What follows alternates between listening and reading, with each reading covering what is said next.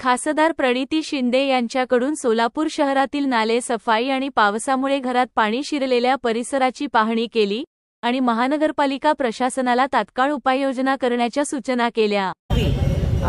थोडासा हलगर्जीपणा दिसून येतो महानगरपालिकेच्या पूर्ण कार्यात. आणि त्यामुळे काय झालं सोलापुरात जे मेच्या पहिल्या आठवड्यात सगळे नाले साफसफाई आपण करत असतो. दरवर्षीचा हा नियम आहे की पाऊस तसं बघितलं तर सप्टेंबर महिन्यात येतो पण काही पाच वर्षापासून लवकर येतो. तर मे महिन्यात ही नाले नाले सफाई झाली पाहिजे.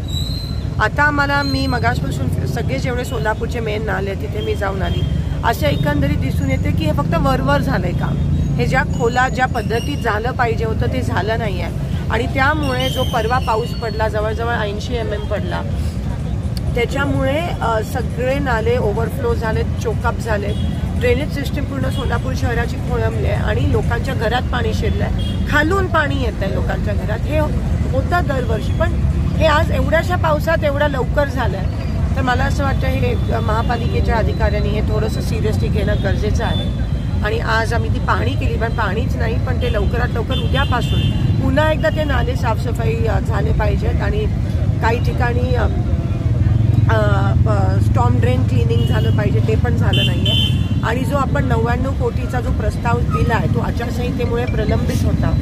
आता मी यू डी सेक्रेटरीना फोन करून तो लवकरात लवकर प्रस्ताव जे आपले नाले आहेत तिकडे बाजूला भिंत बांधून त्याचं चांगलं अजून थोडंसं रिफर्बिश करून म्हणजे जे आपले आपली लोकं जी नाल्यात कचरे कचरा गाद्या पण टाकतात ते कुठेतरी पण आपले पण मला असं वाटतं जबाबदारी आहे आपण पण त्याच्यात लक्ष देणं महत्त्वाचं आहे. काही ठिकाणी गाद्या काही ठिकाणी बिच्छाने सगळं टाकलं आहे तर ते त्याच्यामुळे पण चोकाप होतं आहे तर ते थांबवण्यासाठी आता जी नव्याण्णव कोटीची निधी मागितली आहे ती ताबडतोब मिळाली पाहिजे. त्यासाठी मी प्रयत्न करून यू डी सेक्रेटरींशी पण बोलणार आहे. आणि उद्या साडेतीन वाजता आपण महापालिका आयुक्त एक आढावा बैठक घेणार आहोत. कारण का पाऊस आहे नाले साफसफाई झाली पाहिजे.